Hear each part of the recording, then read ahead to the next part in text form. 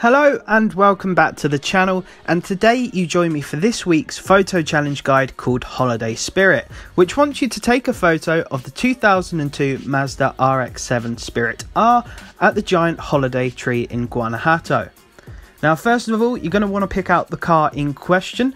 Now, of course, there is a couple of RX-7s in the game. You don't want the 97 one, you want the 2002 RX-7 Spirit R, which as you can see is quite clearly different, uh, different body kit, wheels, etc. Now, once you hop into the car, which can be purchased in the auto show or auction house as well, you want to head over to Guanajuato.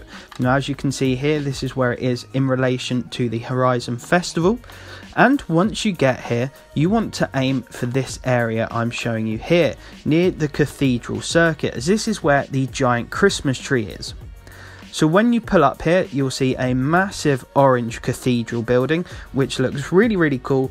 But just next to that is a massive Christmas tree, which is where you want to snap your shot of your RX-7. It's as simple as that. It only took me a couple of minutes to drive around and find it, but really really nice Christmas tree uh, and that's where you want to take your photo of your Mazda RX-7 once you do that you'll obviously have two boxes pop up one saying that you're in the correct car and one saying that you've taken it at the correct location Anyway, folks, if you are struggling with this challenge, please do let me know down below in the comments. Of course, I will try my very best to help you out as best as I can.